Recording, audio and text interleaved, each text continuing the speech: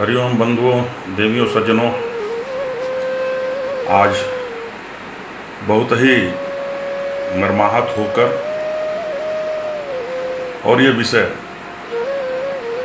आपके देश के, समाज के सामने रख रहा हूँ। हरिओम। सभी सनातन धर्म प्रेमियों का स्वागत है। मित्रों, आज इस वीडियो में हम सुनेंगे अंतर्राष्ट्रीय पहलवान एवं भाजपा के कार्यकर्ता राकेश सिंह जी को। उन्होंने पूज्य संत श्री आशाराम जी बापू के बारे में जो कहा है, उसका प्रचार प्रसार करना यह भी एक सनातन संस्कृति की सेवा होगी। अतः आपसे विनम्रता पूर्वक निवेदन करता हूँ कि आप इस वीडियो को अंत तक पूरा देखकर, पूरा सुनकर, फिर इस वीडियो को खूब शेयर भी ज़रूर करना। धन्यवाद। हरिओम हरिओम बंधुओं, देवियों, सज्जनों। आज बहुत ही मरमाहत होकर और ये विषय आपके देश के, समाज के सामने रख रहा हूँ। बंधुओं, मैं सभी जिम्मेदार लोगों से निवेदन करना चाहता हूँ कि हमारी बात को गंभीरता से लें।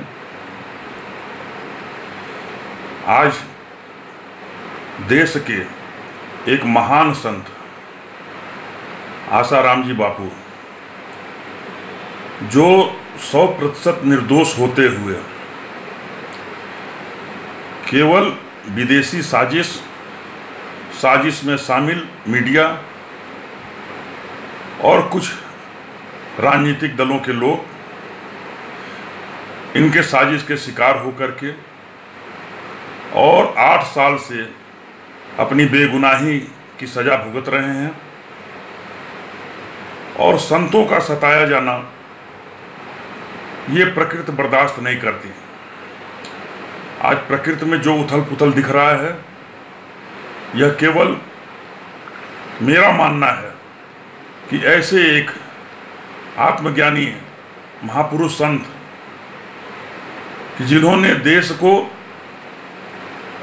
विश्वगुरु बनाने के लिए, देश के धर्म, संस्कृति, समाज की रक्षा के लिए, इनको एकजुट करने के लिए, इनके उत्थान के लिए पूरा जीवन अपना खपा दिया।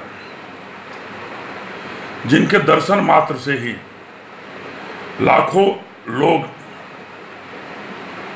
व्यसन से मुक्त हुए, किसी का शराब छूटा, किसी का सिगरेट छूटा, किसी का मीट छूटा, बहुत सारी बुराइयों से लोग दूर हुए और लगातार होते जा रहे थे। और ऐसे संत को, ऐसे समय में कि जिसने जो कुछ देश में आज अच्छाई दिख रही है, सबके बारे में भविष्यवाणी की थी। सारी भविष्यवाणी सब सामने आती जा रही है। और इसके बाद भी क्या कारण है कि एक लड़की के मात्र आरोप लगा देने पर, आरोप क्या है कि केवल छेड़छाड़ नाबालिग लड़की के साथ।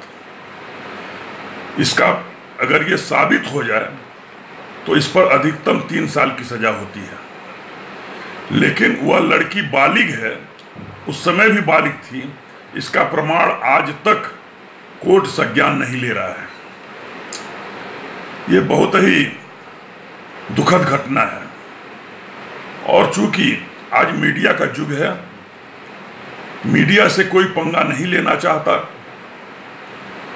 इस नाते कोई इस कटु सत्य पर खुलकर बोल नहीं पा रहा है। आने वाले समय में क्या मीडिया ही देश चलाएगी? मीडिया के कहने के हिसाब से राजनेता निर्णय लेंगे देश के बारे में। हम उनसे भी कहेंगे कि सजग हो जाइए। सबकी एक सीमा होती है और सबके लिए लक्ष्मण रेखा होना चाहिए। जो लड़की बालिग लड़की नाबालिग बनकर आरोप लगाई उसे भी अपनी गलती का एहसास हुआ। वो बार बार कोर्ट में जाकर के दस्तक दी कि हम अपना बयान वापस लेना चाहते हैं, लेकिन कोर्ट ने उसको नहीं माना। वहीं दूसरी तरफ़ एक और केवल आप इतना ही समझिए कि एक और संत को जिनका वीडियो वायरल हुआ, सब कुछ हुआ,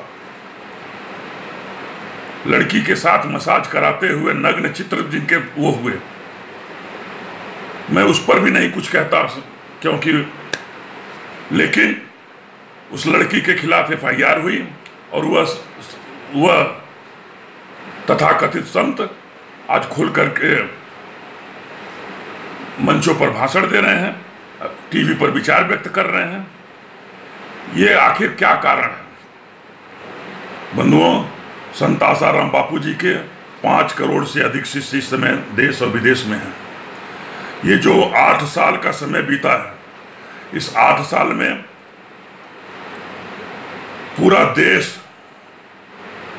पता नहीं कितना ऊपर गया होता, इसकी कल्पना नहीं की जा सकती। बंधुओं, एक निर्दोष संत आठ साल से जेल में बंद हैं और कोर्ट आज तक उनकी, उनके केस को नंबर पर नहीं लगा पा रही है। क्या कारण है कि जब नंबर आता है तो कहते हैं दो महीने बाद तीन महीने बाद की तारीख डाल देते हैं।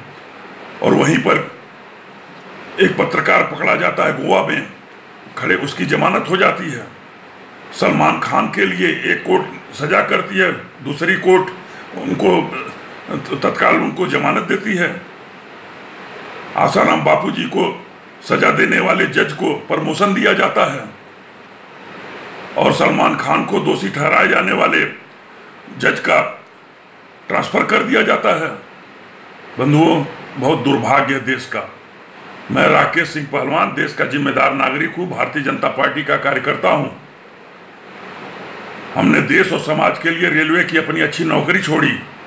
मैं अंतर्राष्ट्रीय पहलवान रहा हूँ, लेकिन यह पीड़ा देखी नहीं जा रही है।